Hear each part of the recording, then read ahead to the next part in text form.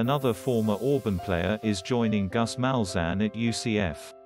Cornerback Marco Domio, who spent last season at Auburn after signing as a junior college transfer, announced Saturday that he has committed to UCF.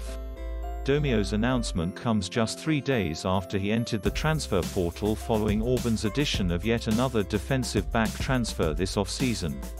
Domio, a former four-star prospect who was rated as the nation's no.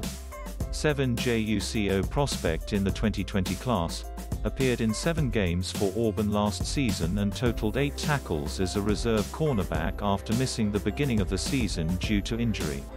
He made one start in the Tiger secondary, doing so in the team's Citrus Bowl matchup against Northwestern.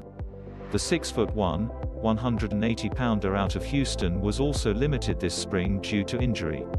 He exited spring behind Roger McCreary, Jaylin Simpson and Nehemiah Pritchett at the cornerback position, while Auburn is also bringing in West Virginia cornerback transfer Dreshun Miller this offseason, as well as a pair of defensive back transfers who can play both safety and nickelback in former Vanderbilt standout Donovan Kaufman and former Southeast Missouri State star Bydarrius Knighten.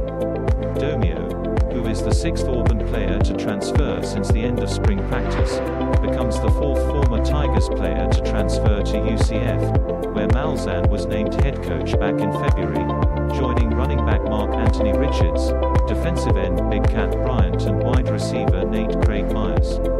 Tom Green is an Auburn beat reporter for Alabama Media Group. Follow him on Twitter at Thomas underscore.